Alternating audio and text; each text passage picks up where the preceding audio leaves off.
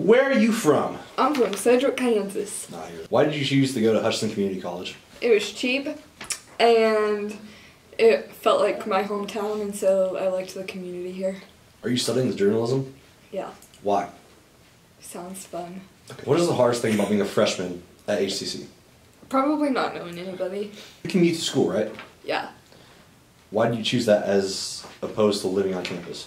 it was cheap. Does commuting cause you additional stress? yes. What's your dream vacation? Uh, Bora Bora. I want to live on, or like stay on like one of those huts on the ocean where Kim Kardashian lost her earring.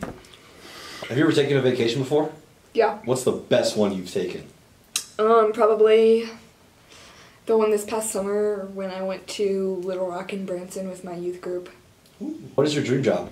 Uh, right now, I would love to work for uh, some sort of public, wow, publication like the New York Times and um, do like report on politics and stuff like that in Washington. What are your thoughts about being on the Collegian staff?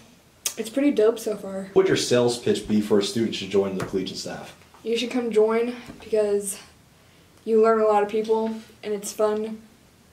What do you hope to accomplish while you're on the staff? Um, I hope to learn more about like publishing newspapers and how to write to um, to what the readers want to read. Who's the funniest person on staff? Oh God, um, KJ Ryan. yeah. What's your favorite food? Um, French fries, Okay. From where? Arby's. Favorite music? Um, probably country or pop. Artist? Sam Smith Mm. and Sam Hunt. Do you like coffee or tea? Coffee, Okay. What's your favorite sport to watch? volleyball. Where do you plan to go after HCC? KU. Okay. What are you going to do there at KU? Study journalism Okay. and join a sorority.